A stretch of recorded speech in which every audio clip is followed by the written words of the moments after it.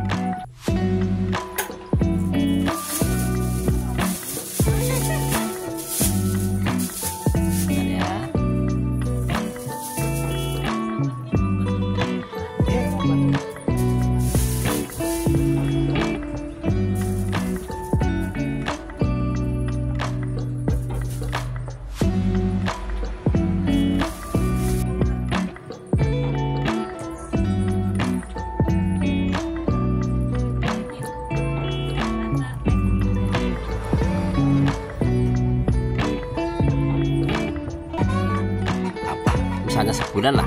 Iya. ada omset berapa ini? Untuk anggur. Kalau anggur ya, jualan kan nggak tentu ya. iya tapi kan jadi rata-rata. Ya tujuh. juta.